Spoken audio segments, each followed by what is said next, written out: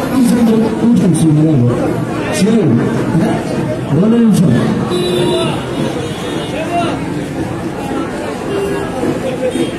శ్రద్ధ వేయాలి దారెడు దారెడు నాకు దారెడు ఖర్చులో ఉండాలి మనోళ్ళు ఎవరు? పైకి రావడం గారికి నాతో పాటు ఖర్చులో ఉండాలి మనోళ్ళు ఆడియో తప్పు తప్పు నేను చెప్పలేదు ఆడియో నడపాలి ఆడియో నడపాలి